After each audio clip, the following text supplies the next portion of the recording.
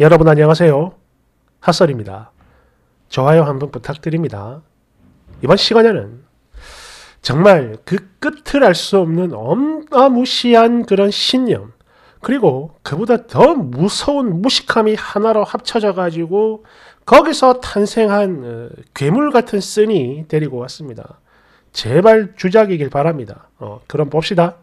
제목 아니 시할아버지 돌아가셔서 그 장례식이랑 내 남편이 도대체 뭔 상관인데요.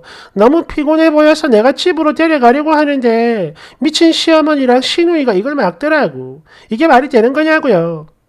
원제 시할아버지 장례식에서 시모와 시누이한테 너무 열받아요.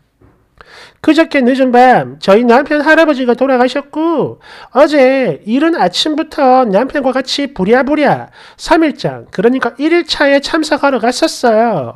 장례식에 참여를 해본 분들은 뭐 잘 알겠지만 힘들잖아. 그리고 저 역시 그날 저녁부터 급격한 피로감이 몰려오는데 이때 신우이라는 인간이 저한테 언니 피곤할 텐데 먼저 집에 가서 쉬세요.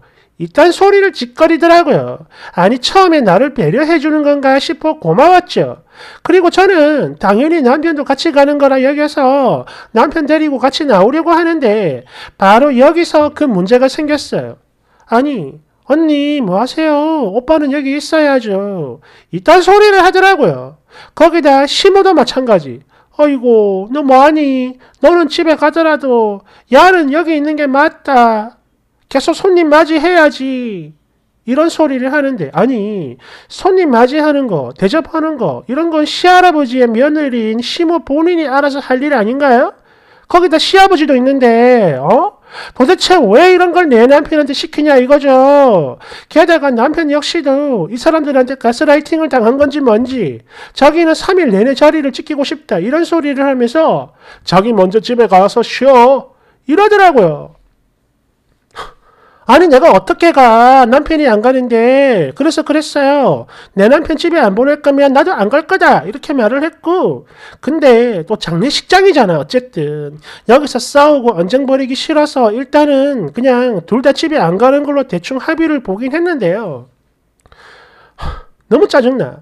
그래도 저야 어제 그나마 눈을 조금 붙이고 그랬는데 저희 남편은 늦은 새벽까지 손님들 맞이하느라 너무 힘들게 고생을 했거든요. 심지어 3일차 발인 날에도 남편을 거길 따라가라는 거예요. 참고로 저희 친정의 경우 옛날에 저희 할아버지 돌아가셨을 때 저 같은 손주들은 1일차, 2일차에만 참석을 했었고 심지어 저녁 되기 전에 다들 퇴근하고 집에 가라고 해서 갔었어요. 밤 시간이랑 3일차 발이는 할아버지의 자식 자식과 며느리인 저희 부모님이 다 알아서 하셨습니다. 안 그래도 피곤해 죽겠는데 집에 못 들어간 것도 너무 열받고 또 손님들 맞이하느라 엄청 피곤한 상태인데 이제는 발인까지 가야 할 저희 남편 어쩌면 좋아요. 너무 불쌍해서요. 조언 좀 해주세요. 지금부터 시작입니다. 댓글 1번 아니 신호이 지가 뭔데 감히 새언니한테 이래라 저래라 함부로 씨부리는 거야? 완전 싸가지가 바가지네요. 그리고 내 살면서 손주들이 저렇게까지 어? 조부모 장례식 참석하는 집은 본 적이 없수다. 니네 집이 정상이죠. 저런 쓰레기한테서 탈출하는 건 지능순이야. 얼른 잘 판단해서 탈출하세요. 대댓글 얼씨고 잡았다 있으니 끌끌끌 다른 아이디로 댓글 쓰면 누가 모를 줄 아냐. 어? 머리가 얼마나 멍청하면 본문을 쓰자마자 바로 댓글을 다네? 시간차 공격이라도 하든가. 야, 얘 진짜 돌대가리네. 끌끌끌끌. 실제로 첫 댓글이었습니다. 본문 올라오자마자 바로 달린 거예요. 2번, 쓰니 파란 마크 달고 이런 댓글 쓰는 저희가 뭐죠? 파란 마크가 뭐냐면은 여기 남자가 댓글을 달면 파란 마크가 달리거든요. 이게 이 쓰니가 남자인 척하고 댓글을 단 거예요. 음. 2번 혹시 남편이 장손인가? 그러면 뭐 어쩔 수 없는 거죠. 됐으니 저희 남편 장손 아닙니다. 이 댓글 당장 내려주세요. 3번 그러니까 쓰니 니네 집에 미쳤다는 생각은 전혀 안 한다 이거지 지금? 어? 됐으니 저희 할아버지 장례식 때는 손주들 남자든 여자든 상관없이 1일차, 2일차 저녁에는 다 집에 갔었고 3일차 발인 때는 아예 참석을 안 하는 걸로 알고 있는데요. 우린 그렇게 했다고요. 그러니까 지금 네가 알고 있는 그게 세상의 전부다 이거지 지금? 3번 아무리 봐도 이순이 정신 헷가닥 나간 것 같아요. 아니 누가 봐도 자기 집이 완전 개판인 건데 마치 이게 진리이며 법으로 정해진 듯이 말을 하고 자빠졌네? 헐 끌끌끌 4번 이래서 결혼할 때는 상대 집안도 같이 보라는 말이 있는 겁니다. 상놈 집안이면 본데 없이 자라가지고 결국 이렇게 티가 나는 법이거든. 대됐으니 상놈이 아니라 정상인 집안도 할아버지 장례식 때는 손주들요 남자든 여자든 상관없이 무조건 1일차 2일차 저녁에는 다 집에 갔었고 3일차 발인 때는 아예 참석 안 하는 걸로 알고 있거든요 할 거면 뭘 좀 똑바로 알고 지적을 하든가 하세요 2번 얘 말하는 본세 좀 보소 아니 그걸 누가 정한 건데 친구 부모님 돌아가셔도 3일 내내 옆에 있어주는 건 뭐니? 어? 뭐 어쨌든 이거 불법이니까 경찰이 와서 잡아가나? 5번 저기요 쓰니 어디 모자라세요? 상주가 가긴 어딜 갑니까? 손님들 오면 인사하고 맞절하고 자리 지켜야죠. 그래도 신우이가 새언니 쓰니 힘들까봐 들어가서 쉬라고 해주는 건데 보통 손주 며느리도 꼴딱 밤을 새거나 새우잠 자거든요. 너 뭡니까? 됐으니 상주는 저희 시아버지랑 삼촌들이지 장손도 뭣도 아닌 우리 남편은 상주가 아니라고요. 6번 글쎄 내가 보니까 장손 같은데 그럼 자리 지키는 게 맞습니다.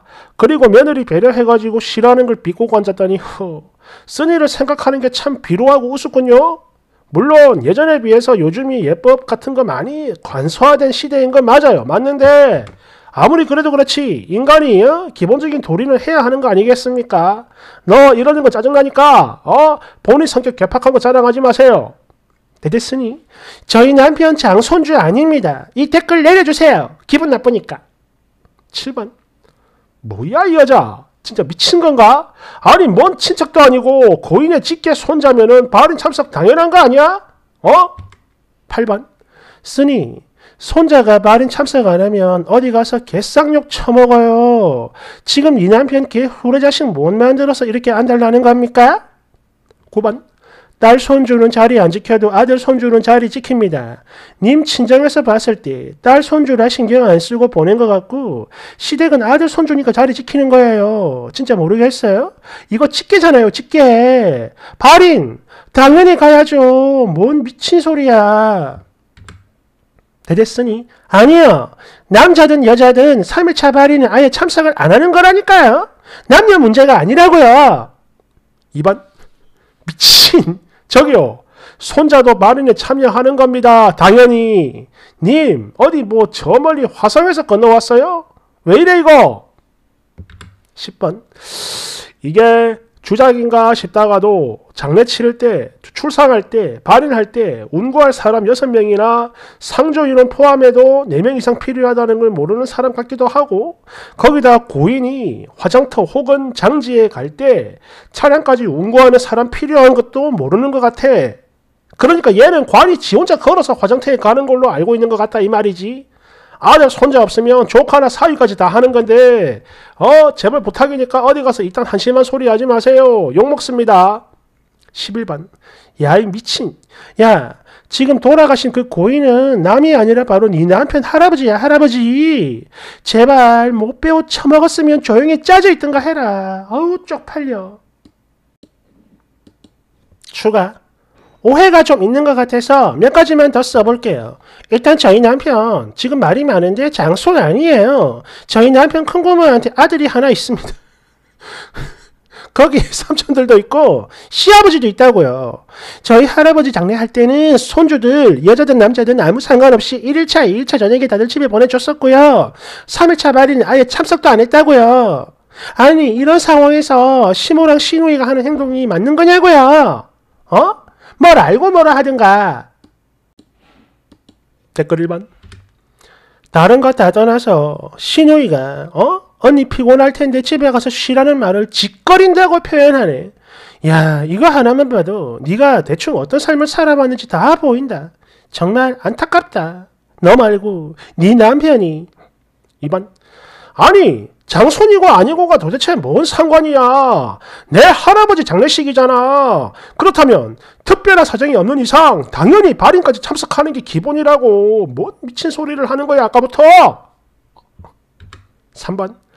요즘에 정말 심각할 정도로 멍청한 애들이 워낙에 많다 보니까 이 엄청난 거를 봐도 주작이란 생각이 전혀 안 든다. 비극이야, 비극. 이러다가 우리나라 진 짜 망하겠다. 아이고, 전국적으로 곡소리 나겠네. 4번. 야, 이 많은 댓글들이 전부 다 알아듣게 설명을 해주는데도 끝까지 지 혼자만 맞다고 대댓글 달고 앉았네? 달달달달. 누군지는 모르겠지만, 야, 네 남편 진짜 불쌍하다. 얘 너무 심각한 것 같아. 어쩌면 좋을까? 5번. 나도 여자지만 얘처럼 우리나라 몇몇 여자들 진짜 이상한 게 남편이 안 가면 나도 못 간다. 이딴 소리 하는데 왜 이러는 걸까요 도대체?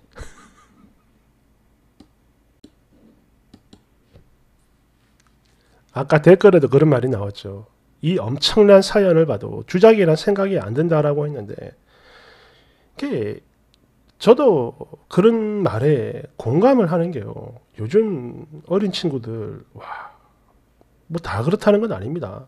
그런 건 아닌데 진짜 어, 잘 모르고 무식한 애들 중에서 중요한 건 그거야. 뭐 모를 수 있습니다. 뭐 안 배웠으면 모르는 거죠. 뭐 살면서 배우면 되는 거예요. 중요한 거는 무조건 자기 생각이 옳다고 절대 이렇게 그 안 꺾는 애들이 있거든요. 어, 참 걱정입니다. 진짜 걱정이에요. 야, 그래가지고 인생 어떻게 살까? 뭐 아무튼 그래요. 뭐 남편만 불쌍하지 뭐. 어. 감사합니다.